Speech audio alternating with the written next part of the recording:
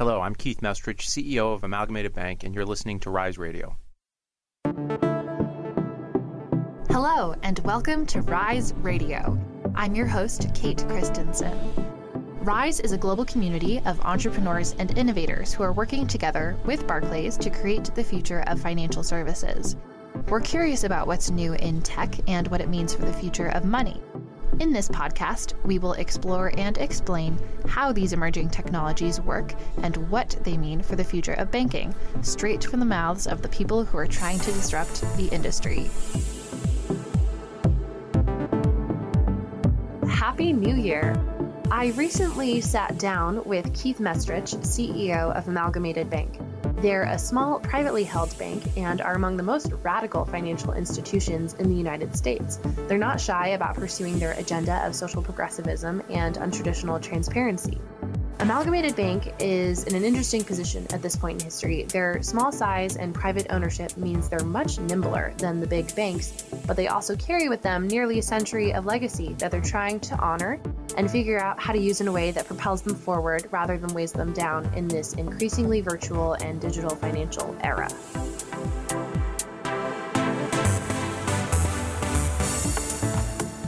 Keith, it is such a treat to have you here on the show to kick off with security questions. What is your favorite financial regulation?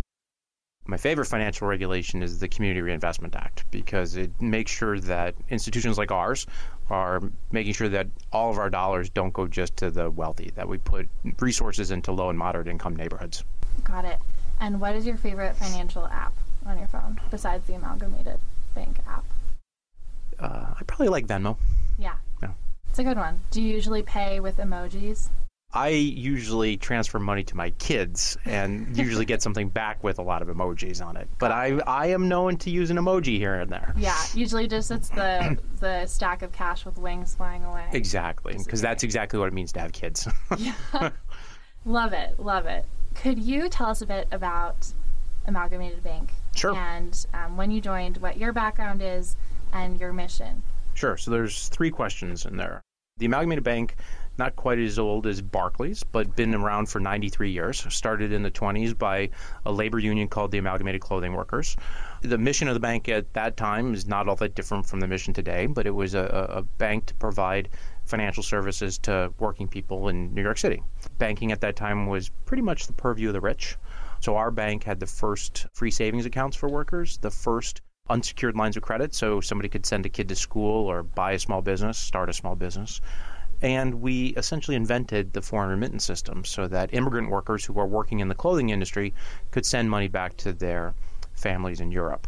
We've evolved since that time to continue offering services to working people in New York, but we've really become a financial partner for the broader progressive community around the country. Our, our clients now include uh, unions, union pension funds, but also advocacy groups, nonprofit organizations, philanthropies, the Democratic Party, and similar kinds of organizations. Your tagline is to be the progressive bank for the progressive community. You advocate for and even bank a lot of controversial people and causes Hillary Clinton's campaign, the DNC, organized labor, and minimum wage advocacy groups among them. In an era where people hear these names or issues and immediately retreat to the battle posts of their opinions, do you attempt to depoliticize the way in which you advocate for these groups and causes? So we like to think of ourselves as the bank that helps people who are doing good do a little bit better. So we're agnostic on many of the issues of the day, but are passionate about helping our clients. So if our clients are working on representing workers to have more power in the workplace, by providing them with better financial tools, we let them do that job just a little bit better. If it's we make a loan to them that allows them to amplify what they do, that's great. If we save them a little money because we're just a little bit cheaper on banking services, that's great. If we can take challenges that they have and put together some bespoke product that allows them to meet those challenges, that's fantastic. That applies for our union partners, our human needs delivery clients, those who are working on reproductive rights, helping save the environment. There's things that we can do in all of those. So those issues are inherently political, and we are kind of an inherently political bank. You don't yeah. become the bank of one party and not the other party. You don't become the bank of those organizations if people don't feel like you are with them. And mm-hmm. so many of our bankers come out of the traditional financial services industry, but many of our bankers come out of that community and understand, maybe sometimes better than they understand banking, the culture and needs of our client organizations. And so we are really able to help propel those the missions of our clients forward in a really compelling way. Can you talk a bit more about the people who work at your bank because you don't have a traditional financial services background. No. Usually the rap sheet of a bank CEO, at least in the US, involves um, kind of a hopscotch around different Wall Street firms. Starting in B school and then moving through exactly. the, the various big banks, yeah. So, what's it like culturally to blend people who come from a community organizing background and activism background and traditional financial Sure. So, backgrounds? a few years ago, the Washington Post did a profile on me when I started at the bank in Washington, D.C., and my kids have never let me live down uh, how the Post characterized my sort of strange career trajectory to get into the banking. And they called me the most unconventional banker on K Street. and so I've had to live that down with my kids ever since then. But it's really true. I, I spent uh, 27 years working in various positions in the labor movement and political advocacy. About midway through my career, I moved from the programmatic side of that work to really doing finance and administration work um, there to help those organizations just do what they do better. And that's very much what I feel like I do at the bank now. And we've collected a group of people who come from the communities where our customers do their work. So we have somebody who comes out of the environmental community where he spent years working on climate change issues. We have the head of our business development operation was a political fundraiser. Hmm. Um, well, who better to you know help build our business and someone who's very comfortable asking people to give money yeah. right to a, to an organization we have um, people who've come out of the world of politics and, and nonprofits that's not all of the people who work at the bank most of the people who work at the bank got traditional training in finance or mm-hmm. banking or whatever. But the marriage of those two people really allow sometimes creates friction and weird issues in the in the bank because you're trying to bring the cultural sensitivities of our customers together with the real need to provide less risky financial services. So sometimes those cultures clash a little bit, but I really think at the end of the day, what it does is it allows us to speak with a very, very different voice for our niche of customers that nobody, no other bank in the country is really targeting that group that I just described. And I don't think anybody could really do it if they didn't have the collection of bankers that we've been able to assemble.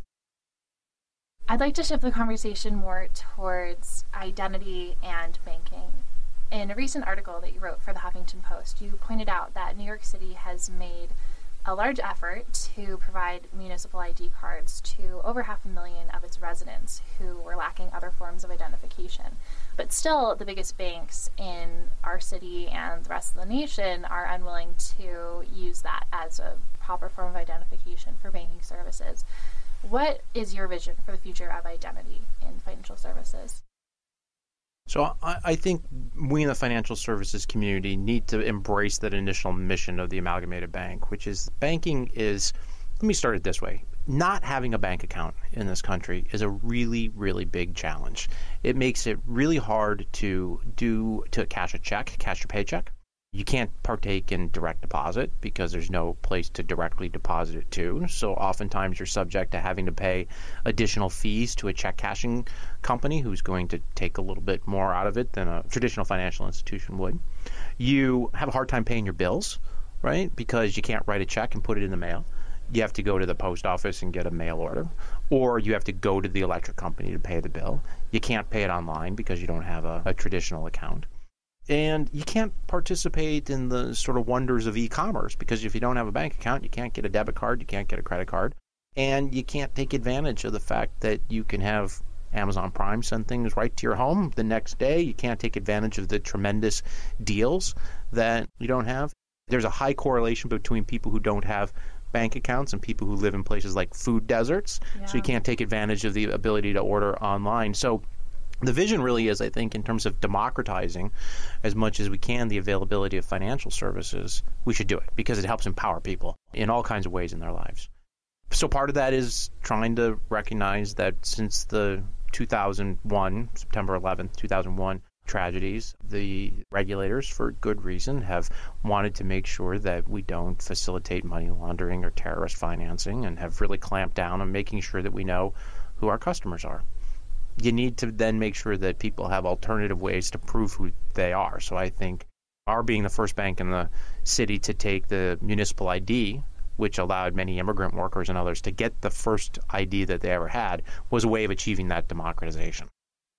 On the topic of credit and how it relates to identity, I was at a conference last month where I met someone who runs the show at an e commerce retailer that sells very trendy, fast fashion apparel.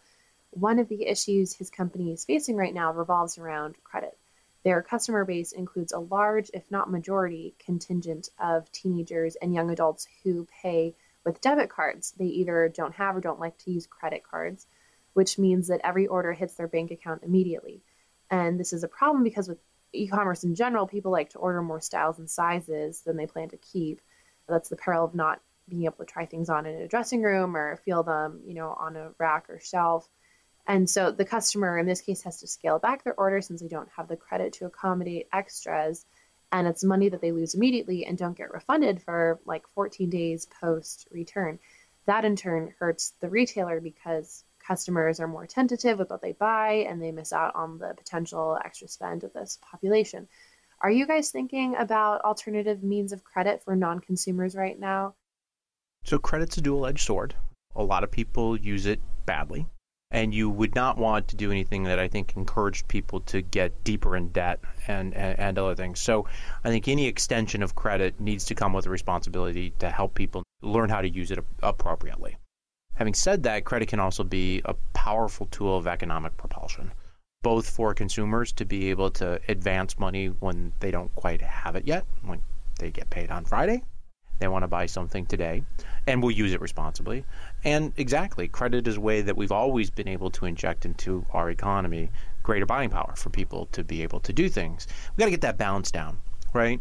But as we think about extending commercial depository services, checking and savings accounts, we also think about concurrently how do we accompany that with a credit product so that people can take the resources that they have and use them in the most effective means that they can. Same for small businesses, same for medium sized businesses, to the extent that you can borrow funds to be able to put them towards economic use. It's great, but we do have a responsibility to make sure that people do it responsibly.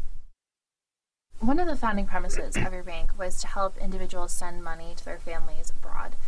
We had the U.S. head of TransferWise on Rise Radio recently to talk shop about disruption in remittance payment services of traditional banks. So, as technologies like TransferWise come forth and make services like remittances cheaper and more accessible, what will remain the core competencies of banks like Amalgamated? So, let's unpack that a little bit remittances is incredibly important. When our bank was founded, people had left war-torn Europe. Um, there were no jobs left there. The continent was rebuilding.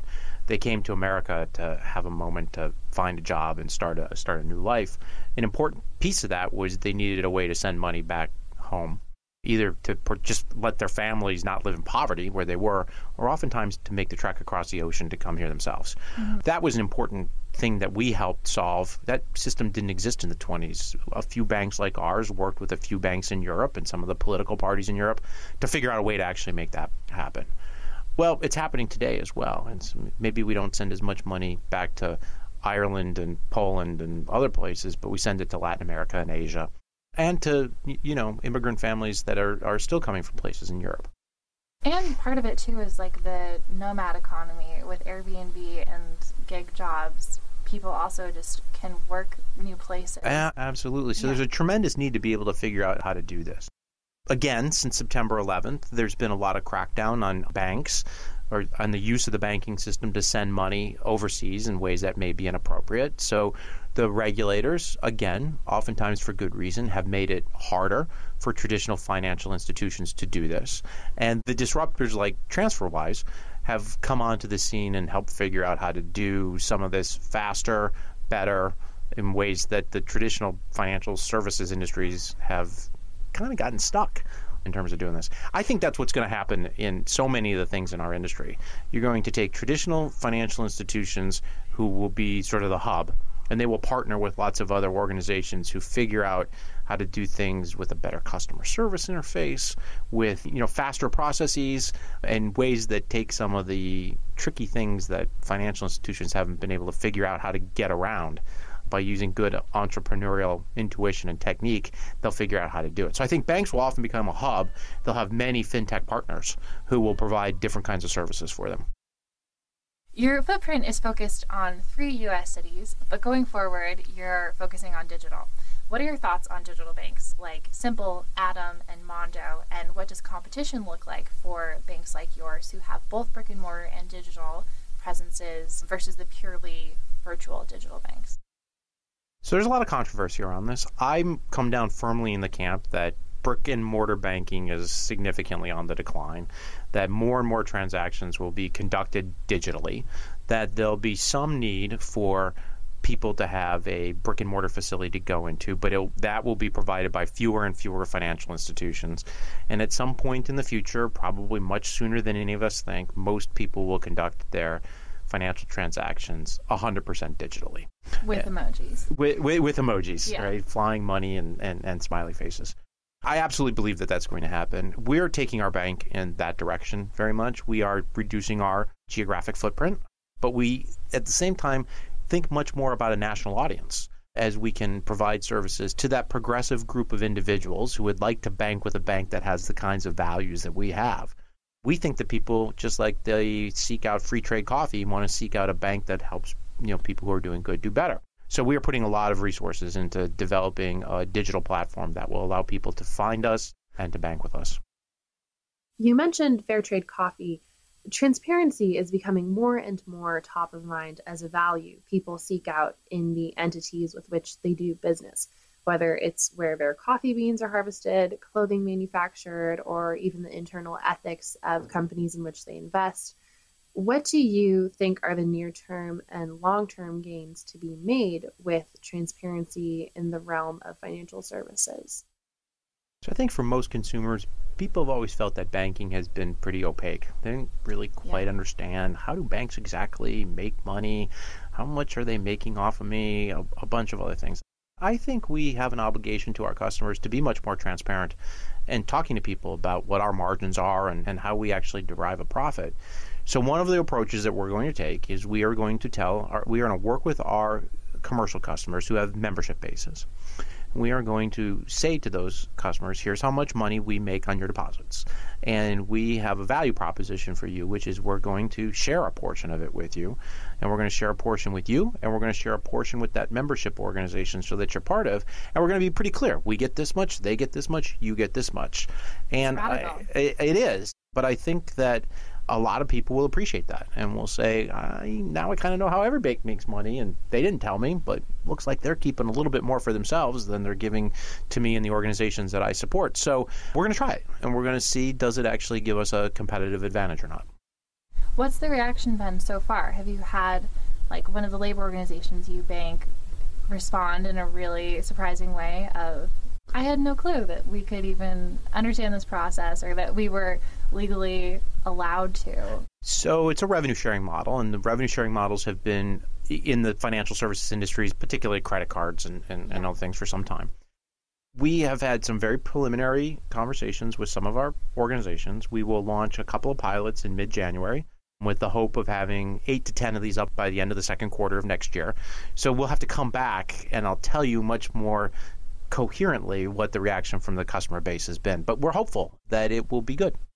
Yeah, I mean, I think it's one of those things where you don't expect transparency from something. I don't expect my bank to tell me exactly how they're using my money and where it's going back, but when you step back from it, I expect that from the clothes that I wear and from the food I consume, so why not? And increasingly, we see it more and more. People want to know if there's GMOs in their food or not. They want to know how much sugar is in their food. I mean, I think a lot of people love these calorie count things when you go into a restaurant, so you can see how many calories are. Now, when you go in one that doesn't have it, it's like, "Grr, I wish I would, somebody would tell me how many, you know, calories were in that Big Mac or whatever it is that I was going to eat. So I think there's an increasing demand for transparency, sort of in all corners of our lives. People don't like this this this reaction on fake news that we've had, mm-hmm. right? It's just making people really angry, right? That Yeah. there are people out there that are pretending to be something they're not. So I think consumers have a greater and greater demand for transparency all the time. I'm excited to see where this trend takes us. Yeah, me too. What do you see as the paths of least resistance for providing financial services to the un and underbanked? Yeah, it's really hard. You know, there's a reason there's underbanked areas are underbanked, and, and partly because there's not a lot of wealth in those in, in those communities, and it's very hard to take the traditional brick and mortar model of putting a retail branch in an area like that and make it work. And I imagine also to build trust and compete with institutions like payday loans and. A- a- absolutely, those institutions serve a real need. They get dollars quickly into the hands of people who need them. If you're if you're a, a family suffering in, in, in poverty and your refrigerator goes out and you have three kids, you got to get a new refrigerator. So a payday lender on the corner looks pretty enticing as opposed to not being able to keep you, you know the milk cold enough so that uh, your, your kids can drink it. So it's not like they don't serve a need, and they do it a lot quicker than a traditional financial institution would. We've got a handful of branches in historically underbanked areas um, around New York City. It has been very difficult to make those branches work. They work in part because we have a partnership with the city and state to put some deposit dollars into those communities, um, but it's it's hard. I think that there are a lot of people in the fintech space using technology to try and solve this problem. Companies like B or Simple or others that can provide banking services to people so that they aren't reliant on having to go to a bank branch but can use their phone or a prepaid card or a, a debit card are potentially wonderful means to try and figure that out. What would a productive experimental environment look like for providing more effective, less predatory financial services for un and underbanked populations?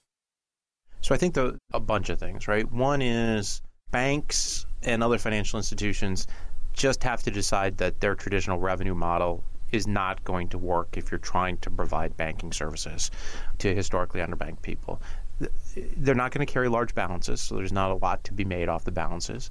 It's really unfair to charge exorbitant fees, such as overdraft fees and other things. So you have to have a banking model that incorporates being able to provide underbanked or unbanked services in a bigger set of financial products. And people are just going to have to accept that not every account that they have will generate the same return the best accounts that we have um, will do. And we need support from the regulators, I think, to compel people to actually do that and to propel people to do that. Otherwise, I, I don't think I don't think it happens. So it's got to be a real partnership where financial institutions recognize that this is an important public service that they must provide, given the fact that they have the ability to do very well in a bunch of other corners of their lives.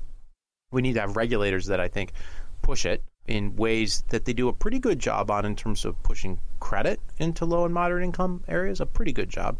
They could think about basic payment services in the same way. If we can do that and have that combination, that's the best shot that we have. What do you see as the biggest disruptive threats to smaller banks like yours? You mentioned TransferWise will completely eclipse your remittance business. What other businesses do you see perhaps not existing in a leaner but more focused amalgamated bank in 10 or 15 years. Yeah, technology matters on, on everything. Small banks have a, a tremendously difficult time investing the capital to be able to invest in good technology. Large financial institutions are going to increase the the distance between them and the smaller financial institutions through the, through these investments. If everybody now, for good reasons, has come to expect that when they go online or on their phone or use an app, that that user experience is going to be friction free. It's going to be great. It's going to be fast.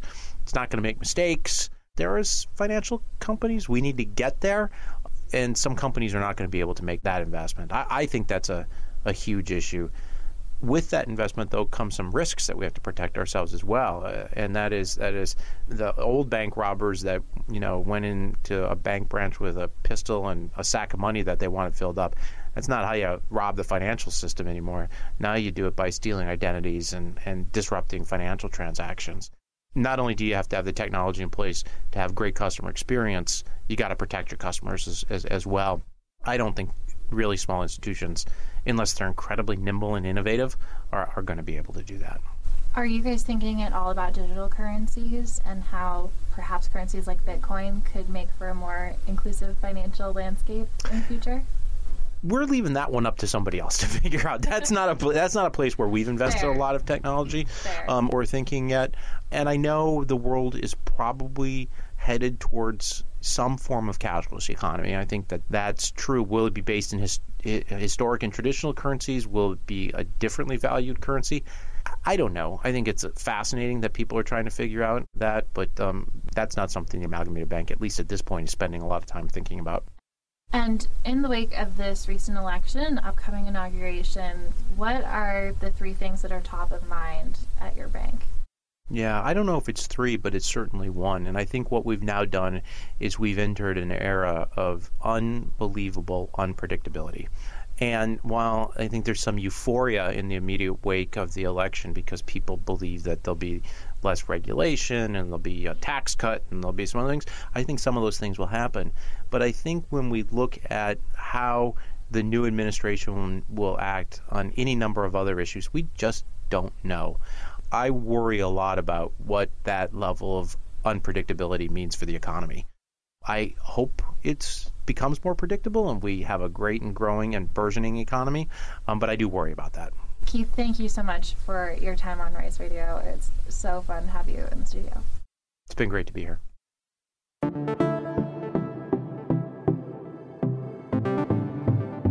Hey, listeners, as always, thank you for tuning in. I can't wait to bring you more content on the new technologies that are causing seismic shifts in the world of financial services. Until next time,